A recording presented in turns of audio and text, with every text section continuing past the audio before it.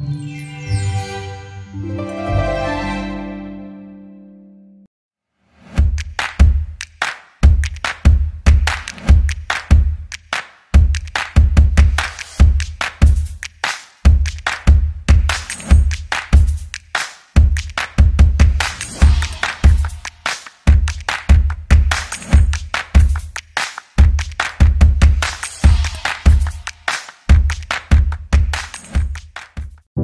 Sepanjang tahun 2023, Dinas Kesehatan Kota Depok terus memaksimalkan terselenggaranya program kesehatan di Kota Depok.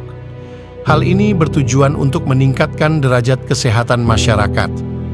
Berikut capaian-capaian yang telah diraih Dinas Kesehatan. Pilot Project Implementasi Dashboard Emonef, Kawasan Tanpa Rokok. Dinas Kesehatan, Dinkes, Kota Depok berhasil mendapatkan nilai A atau dengan skor 80,30 dari hasil evaluasi terhadap akuntabilitas kinerja perangkat daerah untuk tahun 2022. Dinas Kesehatan Kota Depok meraih juara umum dalam anugerah TIK Perangkat Daerah Depok ICT Award 2023. Kota Depok meraih penghargaan dalam Universal Health Coverage UHC Award 2023 oleh Provinsi Jawa Barat. Pemerintah Kota Depok menerima penghargaan juara satu kabupaten atau kota yang menerapkan pangan aman dari Badan Pengawasan Obat dan Makanan, Badan POM.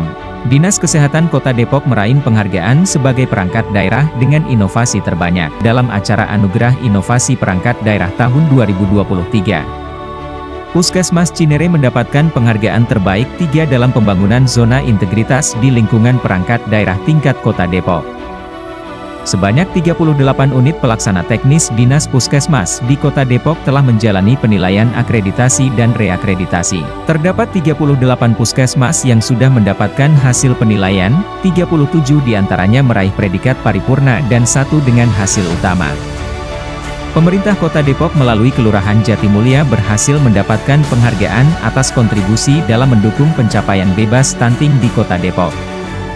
Puskesmas Cinere, Sukamaju Baru dan RSUD Asa mendapatkan nilai A atau pelayanan prima dalam evaluasi kinerja unit penyelenggara pelayanan publik tahun 2023.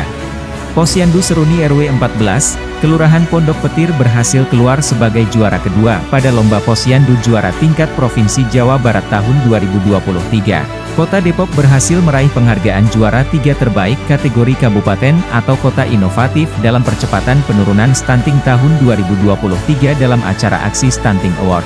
Dinas Kesehatan Kota Depok dan Direktur Rumah Sakit Mitra Kerja Sama Pemerintah Kota Depok melakukan penandatanganan perjanjian kerjasama untuk memberikan pelayanan di luar jaminan kesehatan nasional.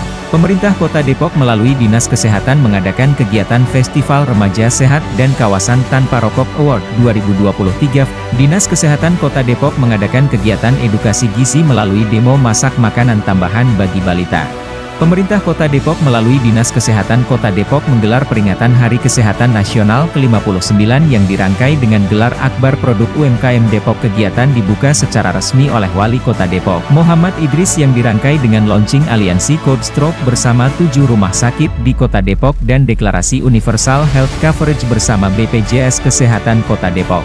Tiga fasilitas pelayanan kesehatan di Kota Depok mendapatkan penghargaan implementasi program tuberkulosis terbaik kategori puskesmas puskesmas, klinik, atau dokter praktik mandiri dan rumah sakit. Dinas Kesehatan Kota Depok bersiap melaksanakan bulan vitamin A.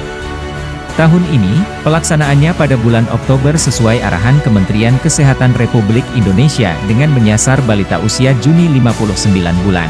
Pemenang lomba kantor menor yang diselenggarakan Dinas Kesehatan Kota Depok resmi diumumkan. Adapun kriteria penilaian lomba sesuai dengan kata menor, yaitu memilah dan meminimalisir sampah, Enyahkan asap rokok, ngecek kesehatan secara rutin, olahraga teratur, ringkas, resik, rapi, rajin, dan rawat. Dinas Kesehatan Kota Depok terus melakukan upaya pengendalian pencemaran udara. Upaya tersebut dilakukan dengan pengukuran kualitas udara indoor, atau dalam ruangan yang sudah berjalan di 16 puskesmas dan 15 sekolah di Kota Depok. Inovasi screening HIV ibu hamil terintegrasi atau SIHATI yang dilakukan oleh Dinas Kesehatan Kota Depok. Melalui inovasi tersebut dapat menekan angka kematian ibu dan bayi yang disebabkan oleh Human Immunodeficiency Virus.